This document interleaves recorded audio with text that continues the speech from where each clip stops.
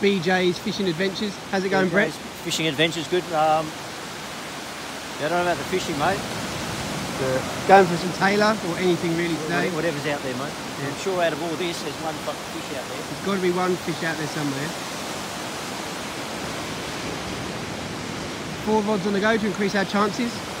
Brett's gone for his super big rear on, the- on this, this setup.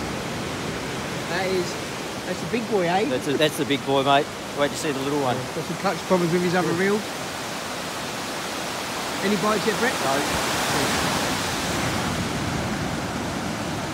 Just A beer, that- I'm just waiting for that big shark to come through, mate. That big uh, jaws.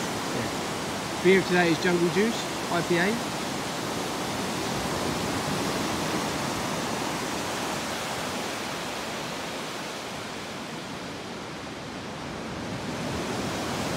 Stay tuned for more not catching fish action.